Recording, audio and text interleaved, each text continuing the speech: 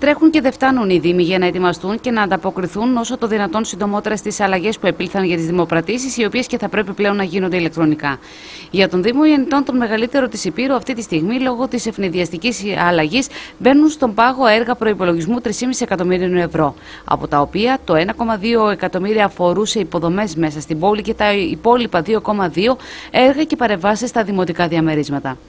Έργα για τα οποία οι υπηρεσίες του Δήμου είχαν κάνει αγώνα δρόμου προκειμένου να τα δημοπρατήσουν άμεσα και να ξεκινήσει η κατασκευή τους και τώρα έρχονται πίσω, όπως τόνισε ο αρμόδιος για τα έργα αντιδήμαρχος Γιάννης Λιόντος. Οι υπηρεσίες του Δήμου αναμένουν τα πρότυπα τεύχη ηλεκτρονικής δημοπράτησης ώστε να τα μελετήσουν και να τα επεξεργαστούν και να προχωρήσει μια σειρά από διαδικασίες για την ηλεκτρονική οργάνωση, όπως ηλεκτρονικές υπογραφές για τους αναδόχους και ηλεκτρονικό μητρό από τους ανθρώπους που θα ελέγχουν την διαδικασία, ώστε να μπορέσουν να ξεμπλοκάρουν οι δημοπρατήσεις. Είχαμε δημοπρατήσει, είχαμε περάσει από την Οικονομική μας Επιτροπή το πρώτο βήμα που είναι για να προβούμε σε δημοπρατήσεις γύρω σε, σε έργα προπολογισμού και ύψος 3,5 ε, εκατομμυρίων ευρώ.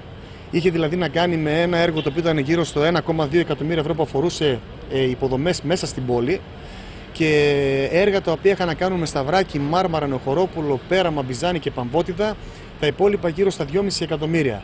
Δυστυχώς, ενώ η διαδικασία περπατούσε γοργά για να προλάβουμε και τον καιρό και την ήδη όπως είπατε, βεβαρημένη διαδικασία που έχουμε με τα χρονοδιαγράμματα των γραφειοκρατιών. Αυτό το πράγμα μας έφερε πίσω. Έχουμε πέσει κατά πάνω γιατί περιμένουμε τώρα τα πρότυπα τεύχη των ηλεκτρονικών δημοπρατήσεων που κάτι ήρθε χθες και η υπηρεσία έχει πέσει κατά πάνω και διαβάζει. Προφανώς χρειάζονται μετά μια οργάνωση σε ηλεκτρονικές υπογραφές από τους αναδόχους, ηλεκτρονικό μητρό για τους ανθρώπους που θα ελέγξουν αυτή τη διαδικασία. Καλώς και θα χαθεί ένα διάστημα.